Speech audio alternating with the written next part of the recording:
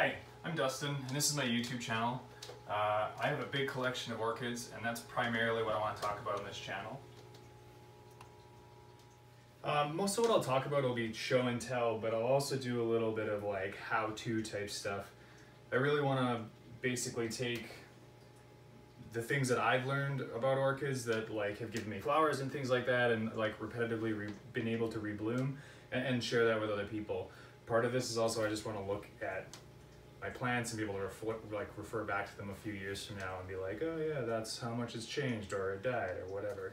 I live in Calgary, Alberta, which is a small city uh, kind of by the Rocky Mountains. I don't grow in a greenhouse. I use tap water on my plants and I grow in a traditional medium, which is uh, bark, perlite, uh, charcoal, and sphagnum moss.